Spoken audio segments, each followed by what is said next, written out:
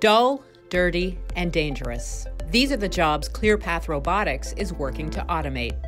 Founded in 2009 by four University of Waterloo mechatronics engineering grads, ClearPath and its sister company Otto Motors develop hardware, software, and services to enable self driving vehicle development, deployment, and fleet operation. The award winning company works with over 500 of the world's most innovative brands in over 40 countries, serving markets that span industrial materials handling, mining, military, agriculture, aerospace, and academia.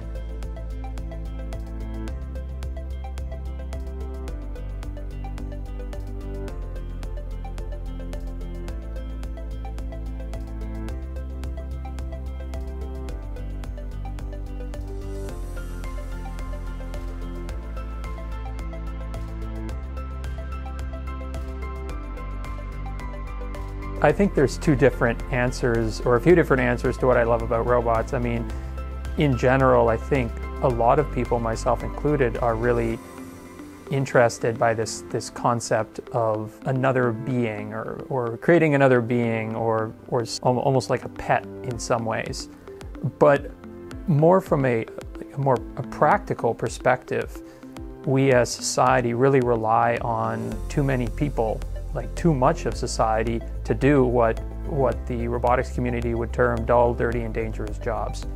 ClearPath was founded by myself and and three of my friends from university, and we saw the potential for unmanned systems back in 2007, 2008, and really wanted to build a company that could support this this next generation of technology, the what we saw to be a coming robotics revolution. ClearPath is, is made up of ClearPath Robotics, which is the largest provider of robotics research equipment in the world, as well as Otto Motors, which is a provider of autonomous mobile robots for factories and warehouse automation. The kind of person who works here is usually quite driven. They want to make a difference. They're smart. They enjoy working in a team, but I think they also have a, a sense of perspective. Um, robotics and autonomous systems is a very new field and it's a very multidisciplinary field. And it's very important that you know where you are very good at and also where you need to rely on others to help support you. People care deeply, and uh, particularly the sorts of people who are, are, relocating from outside of Canada in some cases, they care deeply about the culture and where they're relocating. Now, of course, um, every, every business owner uh, can and should seek to pay people more and not just lean on the culture of the region. But when it comes down to it, I've spent a lot of time as, as part of my job around the world, and I definitely, I definitely prefer this area. There's a lot of space, there's a growing culture, there's proximity to Toronto, um, and I think it's important for all of, um, for the region as a whole to not try to out Silicon Valley, Silicon Valley, as, a, as an example, which is often brought up. Um, fortunately, we as a company have always been very remote work friendly. So that included things like these uh, telepresence robots that we've had here.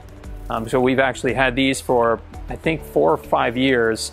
And there, anyone in the company can, what they call is uh, beam in, take control of one of these robots and join a stand-up meeting or view um, different behavior from a robot or different behavior from the robots on the floor or anything like that. Um, just the other day, um, a shipment got sent to me at the office and I wasn't quite sure where it was going to go. So I logged into one of these and just kind of started driving around the office looking for someone. Um, and that sort of thing has actually helped us significantly even, you know, before this situation. And it's allowed us to be able to support work not only from, you know, remotely in case of, you know, snow days or someone uh, someone needing to, you know, wait for delivery, but on the more extreme case, we do have people who you know, who collaborate with us from Europe or the US. So this sort of thing has, has really helped. And back here, it's just general tests. Um, robots outnumbering people here is normal. Um, we normally have, you know, something like a five to one or 10 to one ratio of robots to people. But here is where we do a lot of development tests. So when someone is writing software or coming up with, with new algorithms for our systems, they will test on their, they'll, they'll do some initial tests on their computer. They will run it through the simulation, our simulation tools.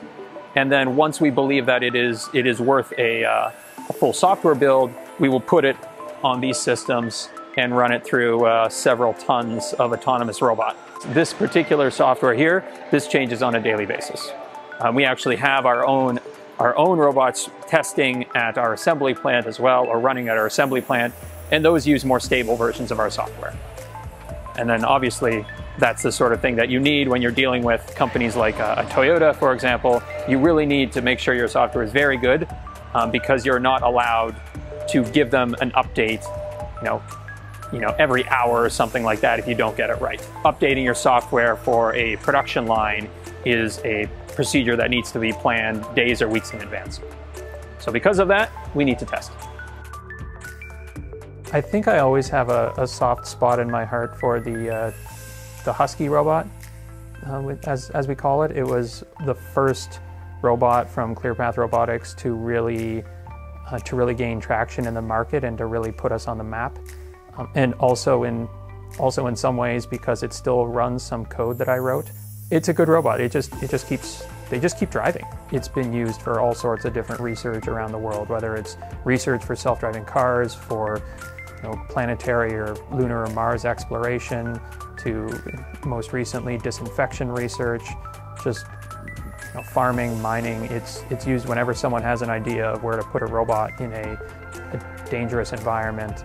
The um, the Husky's great for it. Well before I co-founded the company, I, spent some time working on an assembly line and I know exactly how, how difficult it is to work on factories. I remember seeing a video of a deployment with our Otto line of vehicles where there were, I think it was about 20 robots at a factory in the United States. And the video was the factory running in full production. And the people I saw working were just casually walking around, having conversations with each other, you know, carrying boxes of tools around and what have you and everything else was moving entirely via the Otto robots that we built.